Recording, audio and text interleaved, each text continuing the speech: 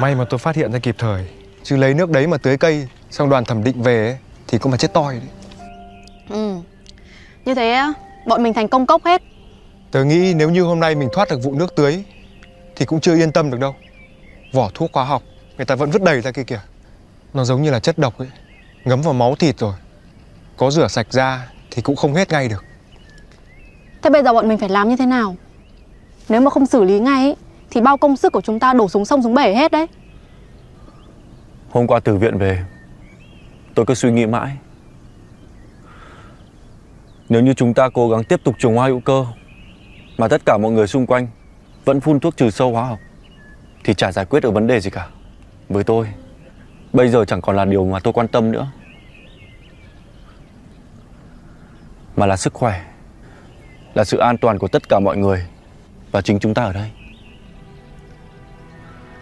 Trên báo người ta vẫn đưa tin về những làng hoa bị ô nhiễm từ phân bón, từ thuốc bảo vệ thực vật. Tỷ lệ mắc ung thư thì ngày càng tăng.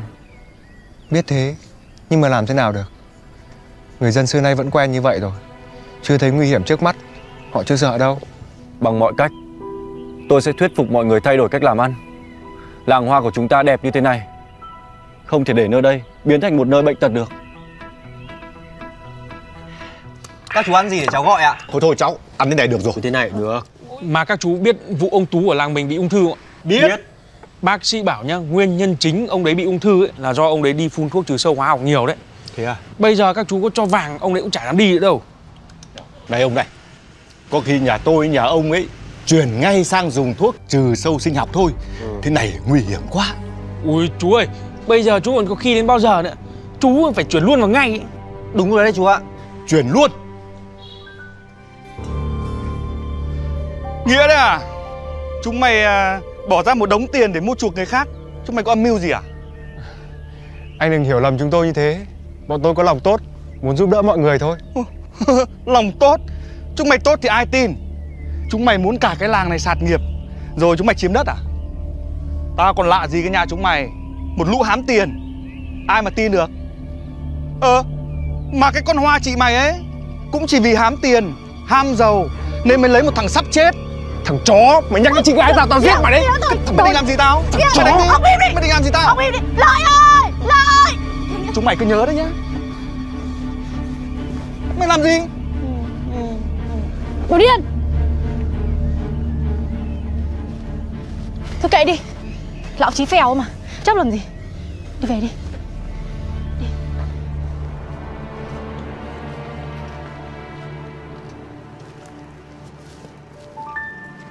Gọi lợi đi.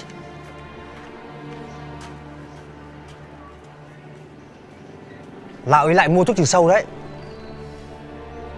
Ờ. Ờ. Tao hiểu rồi. Thanh à, đoàn kiểm định sắp đến chưa? Ừ, Lợi biết rồi. Lợi vẫn đang đứng cạnh đây. Ừ, thế nhá. Cu lợi đấy à? Hôm nay đoàn kiểm định xuống đấy à? Anh mày đi phun thuốc đây Thuốc hóa học vẫn là ngon nhất Chị Diệu đã đồng ý phun thuốc sinh học rồi đây anh ạ. Ui, đàn bà Quyết thì cũng chả để làm gì Ruộng nhà tao Tao thích phun cái gì thì tao phun Thôi, bọn em có lỗi lầm gì thì anh cho bọn em xin. Anh để hôm khác phun được không? Lỗi à? Lỗi của chúng mày ấy là không tự lượng sức mình Ngựa non háu đá Châu chấu đòi đá xe Ruộng nhà tao Tao thích phun lúc nào thì tao phun Bọn em đã nói như vậy rồi. Anh không cho bọn em xin được à? Tao không cho chúng mày xin lỗi đấy Thế bây giờ anh thích thế nào? Ờ, cái thằng này mày cả tao à? Mày làm sao? Mày muốn gì? À, à, kìa, mày muốn gì? Mình chưa thôi, bỏ ra thôi, bỏ ra thôi. Thôi, thôi, thôi, thôi anh ơi. Ông Huy ơi, tối hôm qua ông đi đâu Ờ, anh có đi đâu đâu? Này, ông đừng có nói dối tôi nhá Thằng Linh, thằng Bão nó nói hết cho tôi rồi Hai cái thằng này Đi về Ờ, nhưng mà anh còn phải phun thuốc chứ sao? Không phun hết hết, cầm mình đi về Đi về Đi về À, đi. à, à, bỏ ra Về nhà ông chết với tôi. Bỏ, bỏ, bỏ tay ra à, à. Về nhà ông chết với tôi. Tới luôn. Là trò của hai thằng chúng mày đúng không? Chuẩn. Được đấy, cảm ơn nhá. Hồi hộp đến tận phút chót. Đi em. Kìa anh, anh vào đây có sợ con mụ vợ nhà anh biết không? Em yên tâm. Anh bảo với mụ vợ anh là anh đi làm đến đêm mới về cơ mà. Không phải sợ. Đi vào đây. Ừ. Vào đây em. Vào đây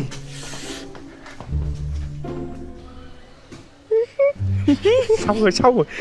Bên rõ này mặt luôn đấy. Là Huy chết với anh em mình.